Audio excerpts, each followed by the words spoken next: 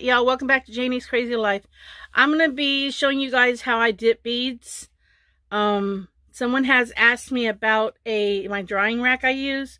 So this video will also be talking about my drying rack. Um, because I want to post that on my page um, that I started for the paper beads. So that's what this video is going to be about. Me um, dipping my beads and um, talking about my rack. So, all right. All right, this is my rack.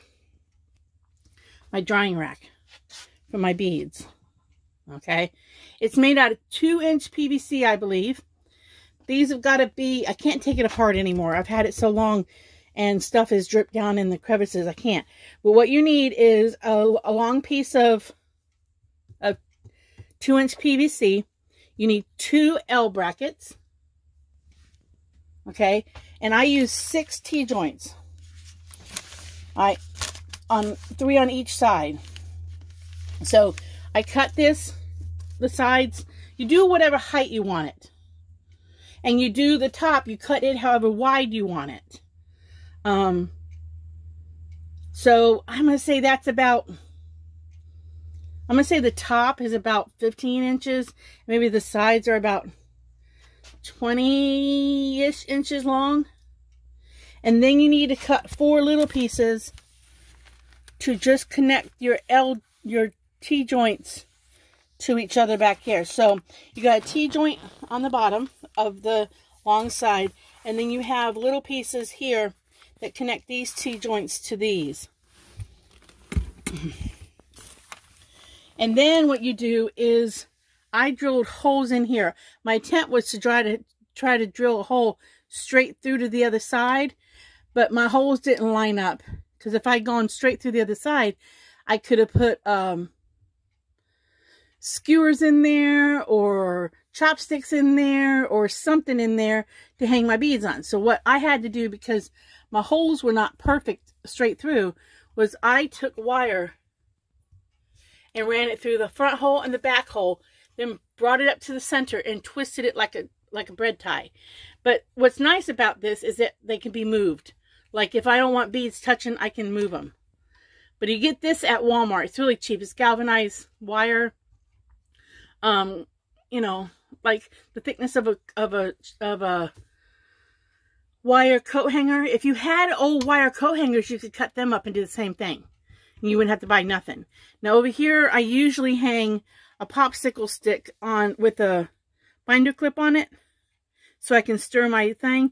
And I keep a pair of um, nail clippers on the back so that when you're dipping a bead and the bead has a, a little tab sticking out, you can um, uh, cut it off and continue to, to, uh, sometimes when you dip, when I dip beads, sometimes the very end will roll away and I can um, clip it off.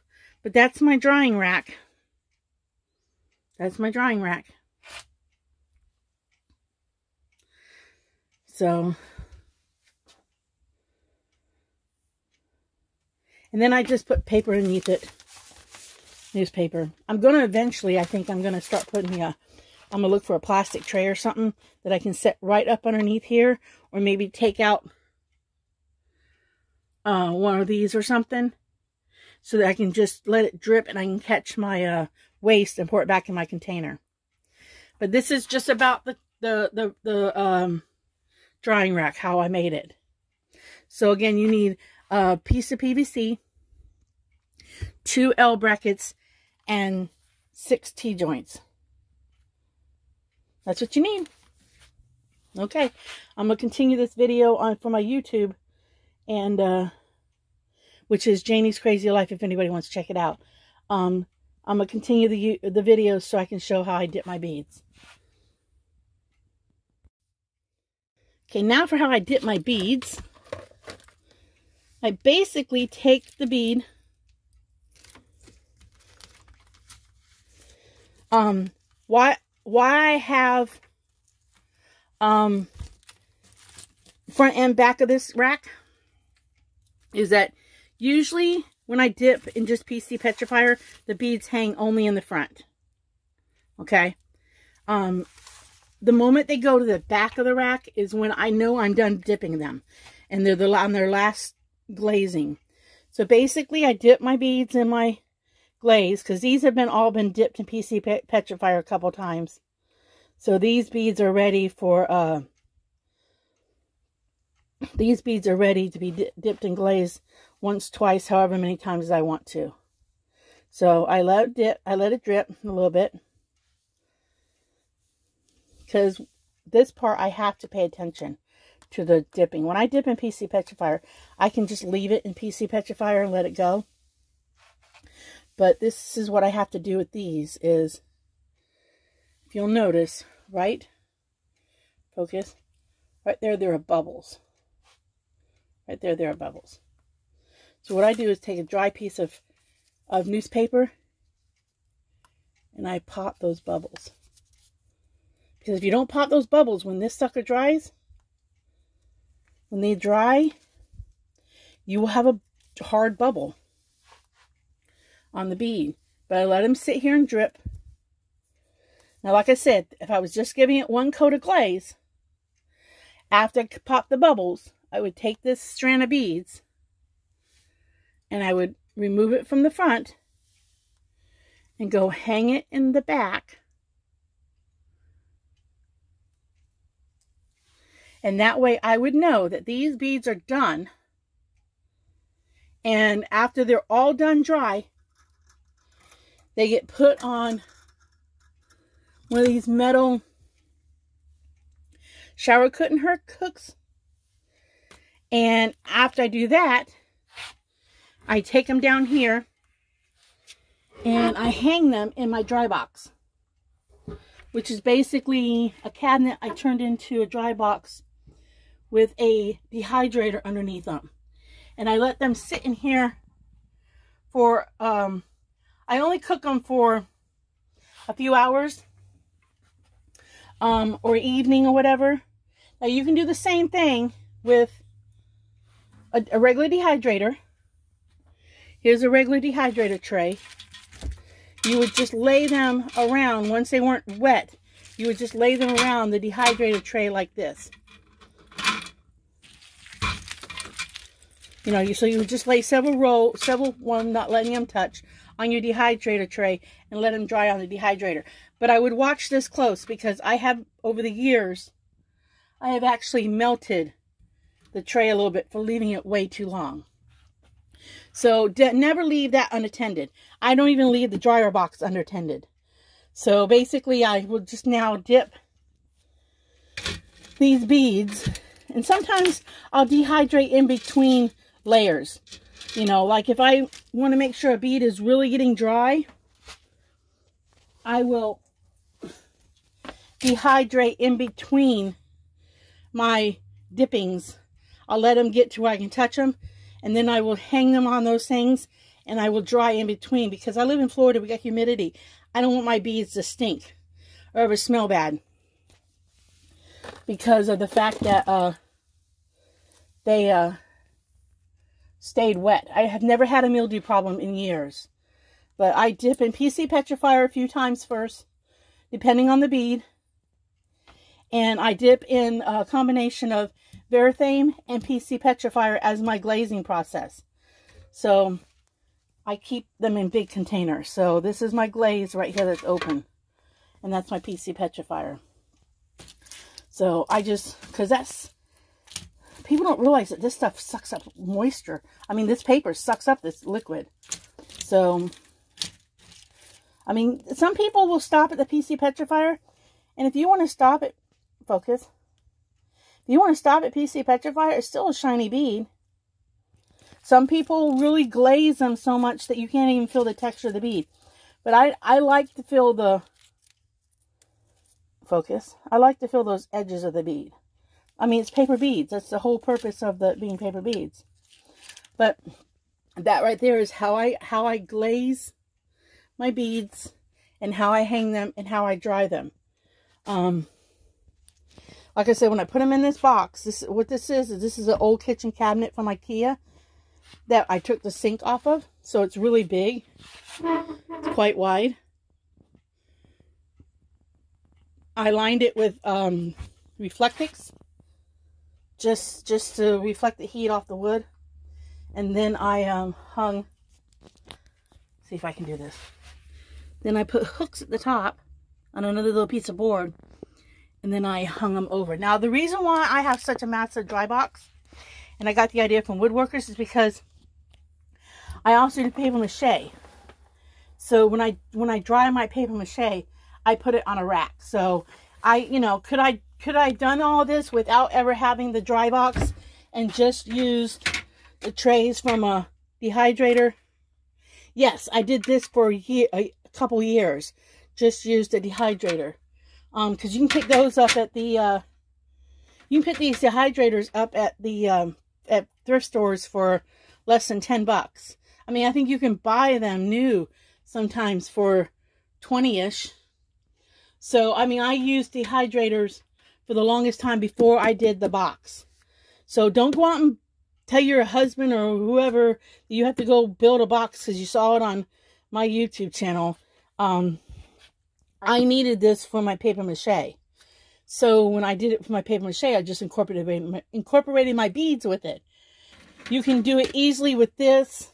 Um, some people have dried them in a in an oven or an old toaster oven on very low. I, I won't do that because I'm afraid I'll burn them and cause a fire. Um, definitely don't leave um, any kind of drying mechanism, dehydrate anything unattended. I usually will dry when I'm working out here in the evening anyways for a while. Um, because I don't want to take a chance on having a fire or something. And I definitely would mark your dehydrator no food on it because this is a chemical on the beads no matter what you're using. I mean if you're using uh, nail polish or if you're using triple thick or diamond glaze you could dehydrate once it's not sticky and tacky um, you probably could hydrate them. I don't know if the heat with those other products I don't know if the heat would um, um, cause the beads to be tacky. Um, I would not dehydrate them with Mod Podge because I know in Florida, Mod Podge gets sticky after a while. And I don't use Mod Podge on much of anything because I do live in Florida and I have found, like when I had my beads in a shed storage unit thing on the property and uh, they got the heat got to them, I did find that they got tacky. So I don't use Mod Podge for anything in Florida. I basically use um, PC Petrifier. Focus. PC Petrifier Wood Hardener. And Varathane. And it's Varathane, not Varathane. It's V-A-R-T-H-A-M-E. And I think you can get the Varathane at uh, uh, um, Home Depot. Um, it's it's expensive per gallon. I think it's close to 70 or 80 bucks a gallon. Um, I haven't bought it in a while, um, but I want to say I spent like $69 on it last time I bought it. Um, and I mix it half and half with PC Petrifier. And it is still, it's still thicker than the PC Petrifier. I mean, it's still thicker. I'll show you. So you can see that on the beads. So it's it's thick. I I can't tell you the ratio to what I do. I think it's um, two parts Varathane to uh, one part um, PC Petrifier. Kind of swish them around in there when I do this. And then, like I said, I, I bring them out. See, it's, it's still thick. I can use straight Varathane and it'll be a thicker glaze on the beads. But I have found that um, the beads do just as nice with one coat I mean, with, with the mix, not with one. Well, they do do just as nice with one coat. But I found the beads do just as nice with the watered down Varathane with the PC Petrifier in it as they do um, without the uh, uh, PC Petrifier mixture.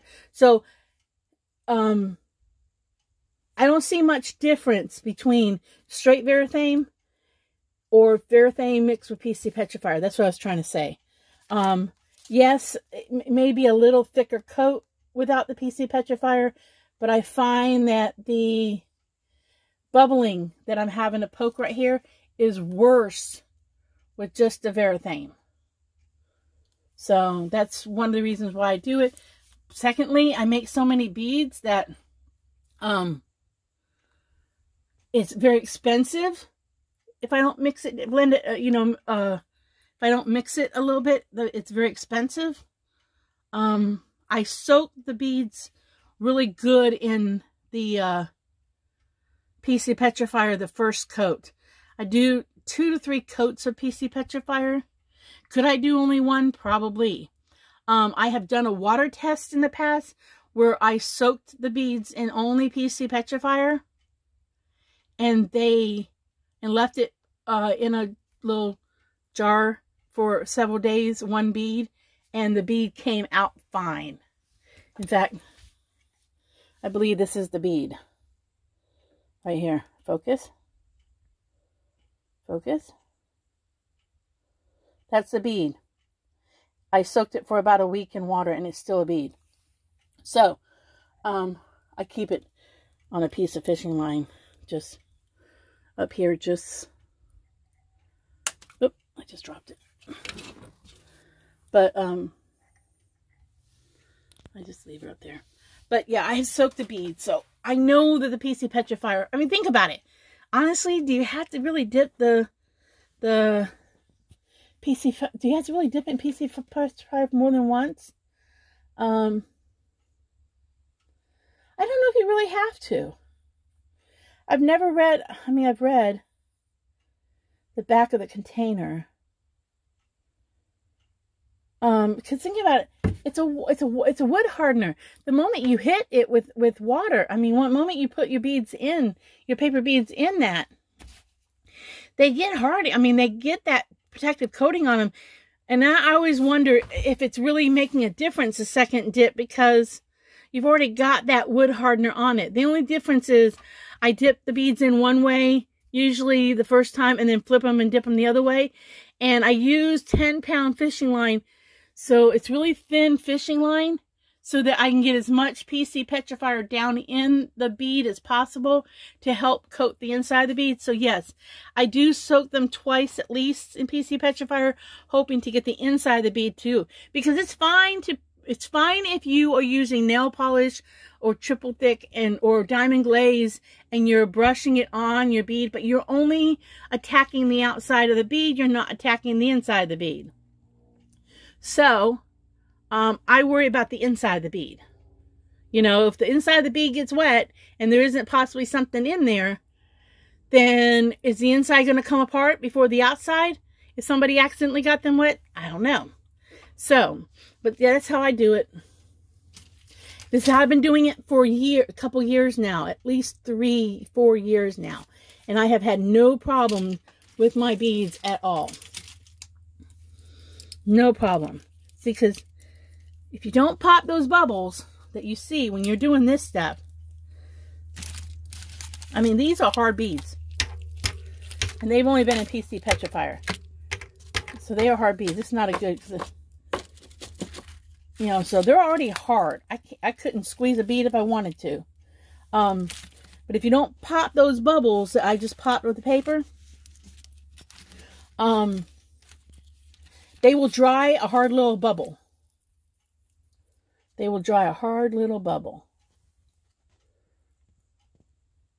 And I have found this stuff, you know, it. I don't really, some people say there's a slight smell to the PC Petrifier. There is a tiny little smell, I don't find it at all, does not bother me at all.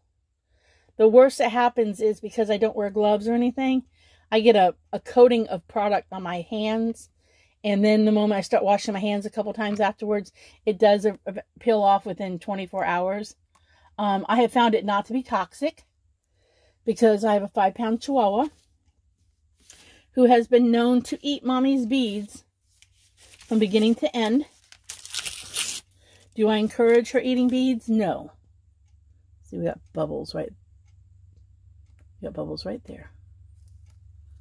Now, there's a product that somebody is selling out there. And you have to pop her product too.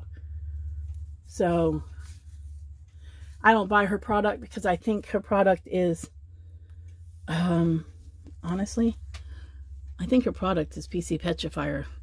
And then I don't know what her glaze is that she's using because a friend of mine bought the the product and we we did some comparisons taste we did some I was going to say taste tests we did some comparisons on paper and stuff and we could not find the difference between her product that she claims to dip it in to harden it to um um we couldn't find a difference I mean color wise it looks like PC Petrifier you put it on certain types of paper it comes out filling the exact same way and then I did some Googling and found out that you can legally buy a product. As long as you don't repackage it and call it the same thing it is, you can actually buy a product and you can actually repackage it in your own bottles and call it whatever you want. Did not know that until I did some research. So, but I'm not gonna I'm not gonna badmouth that person. I'm not on her Facebook. I'm not on her bead page. I don't want to be on her bead page.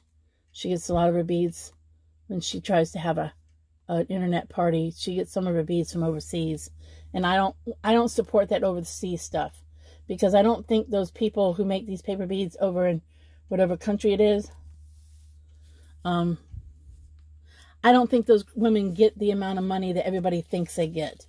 I think they get paid very little for all their work, and those I watched the videos of those um, African women who make their beads. I mean, they get their hands right into it. They roll them by hands with their fingers, which has got to be crippling on the hands. And I don't think they get paid what they should get paid for their beads.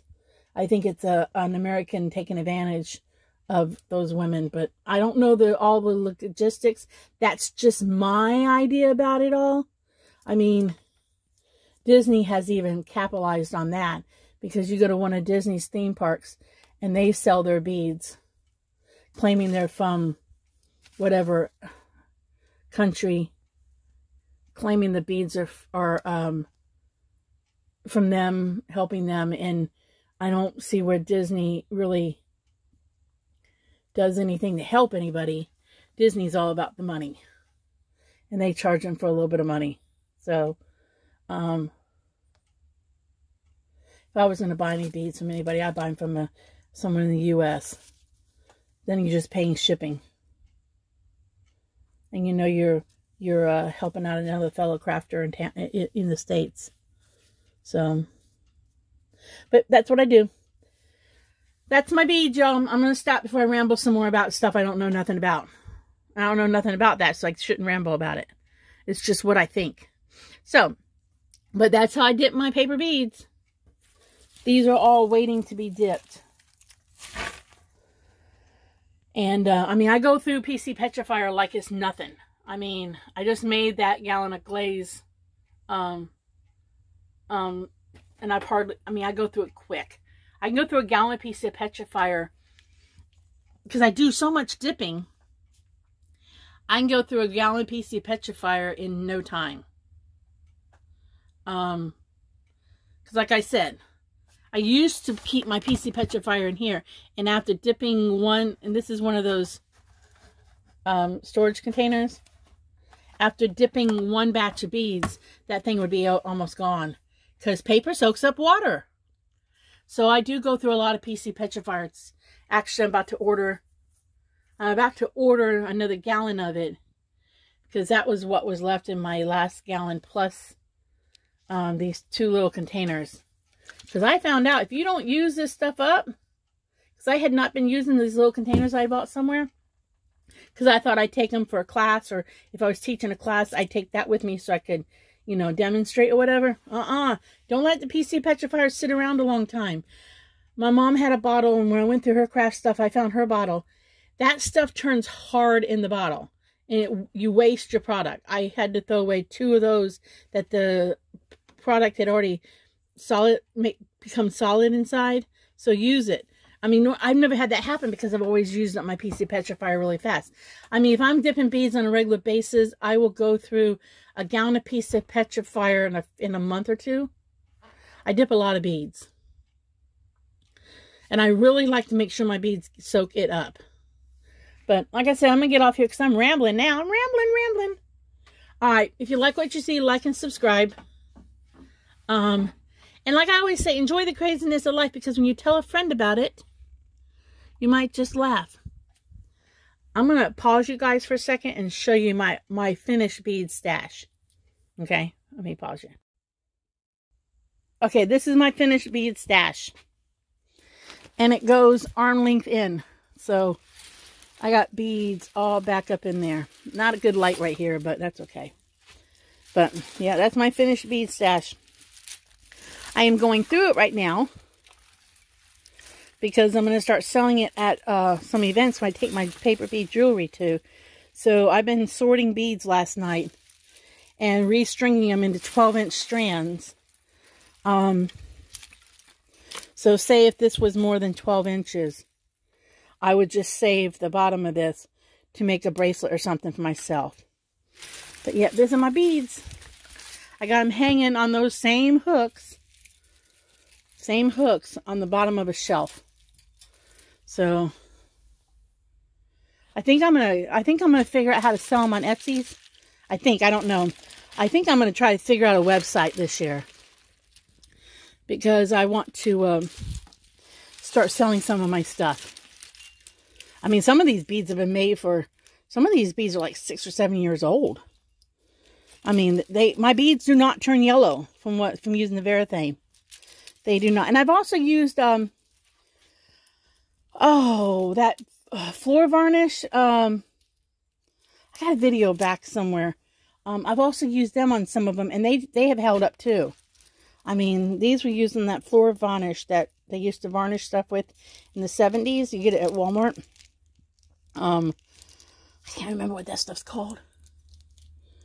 Um, hold on here. Put you on pause a minute longer, and I'll go see if I can find it. Okay, it's this stuff. Pledge Floor care finish two times more shiny. I've dipped a few beads in that too. Um, how non-toxic is it? I don't know. But I've used that too. So um, I've used that and there's my Varathane right there. That's the stuff I get from um, um, Lowe's, I think it is. You know, that's the stuff I use. I even use it to glaze, to my mixture PC petrifier in the Varathane. I even used it to glaze my paper mache when I do my paper mache. Um, so, I have multiple use for that. So, yeah, this is a, I don't know what that is. But there's that floor cleaner in a container that I can glaze with. So, that pledge stuff. I forget what the other stuff was called from the 70s, but they no longer make it, I guess. And that pledge was the closest thing to it, so. Or maybe my research told me that that's what the, it's who makes it now.